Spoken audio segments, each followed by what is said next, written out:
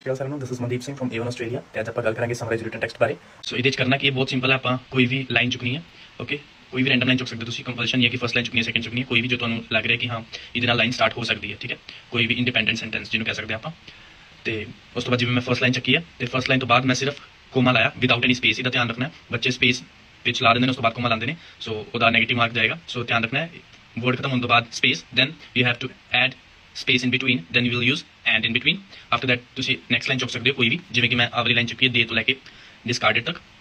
ਉਸ ਤੋਂ ਬਾਅਦ ਸਿਰਫ ਡਿਸਕਾਰਡਡ ਤੇ ਲਾਈਨ ਖਤਮ ਕਰਕੇ ਮੈਂ ਸੈਮੀਕੋਲਨ ਐਡ ਕੀਤਾ after that you just have to add moreover which is a connector ਤੁਸੀਂ ਕੁਝ ਵੀ ਐਡ ਕਰ ਸਕਦੇ ਹੋ ਮੋਰ ਓਵਰ ਫਰਦਰ ਮੋਰ ਤੁਹਾਡੀ ਮਰਜ਼ੀ ਉਸ ਤੋਂ ਬਾਅਦ comma without any space and ਉਸ ਤੋਂ ਬਾਅਦ ਵਨ ਲਾਸਟ ਲਾਈਨ ਤੇ ਲਾਸਟ ਡਾਟ ਕੰਪਲਸਰੀ ਹੈ ਤੇ ਆ ਬਹੁਤ ਸਿੰਪਲ ਹੈ ਤੇ ਹਾਈ ਸਕੋਰਿੰਗ ਹੈ ਰੀਡਿੰਗ ਚ ਵੀ ਮਾਰਕਸ ਜਾਂਦੇ ਨੇ ਇਹਦੇ ਐਸ ਵੈਲ ਐਸ ਰਾਈਟਿੰਗ ਚ ਤਾਂ ਜਾਂਦੇ ਹੀ ਨੇ ਤੇ ਆਪਾਂ ਇਹਨੂੰ ਸਬਮਿਟ ਕਰਕੇ ਵੇਖਦੇ ਹਾਂ ਸੋ ਜਿਵੇਂ ਕਿ ਤੁਸੀਂ ਦੇਖ ਸਕਦੇ ਹੋ ਕੰਟੈਂਟਫੁਲ ਫਾਰਮਫੁਲ ਗ੍ਰਾਮਰਫੁਲ ਵੋਕੈਬਫੁਲ ਸੋ ਇਸ ਤੋਂ ਇਲਾਵਾ ਅਗਰ ਤੁਹਾਡਾ ਕੋਈ ਕੁਐਸਚਨ ਹੈ you can ask us in the comment section thank you so much